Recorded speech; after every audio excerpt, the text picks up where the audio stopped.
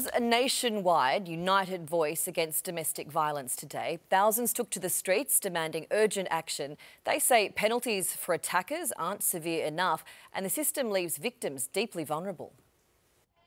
Thousands of voices, one message. Say it once, say it again. There's no excuse for violent men.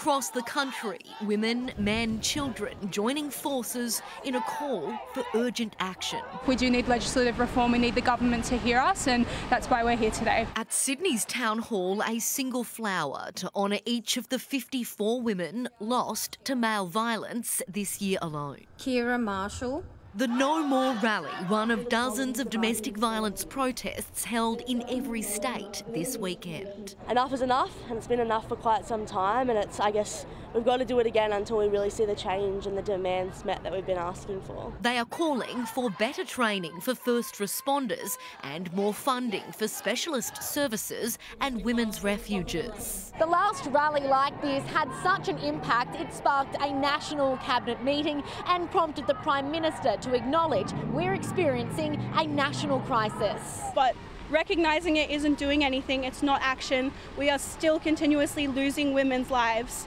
and that's not good enough. Grace Fitzgibbon, 7 News.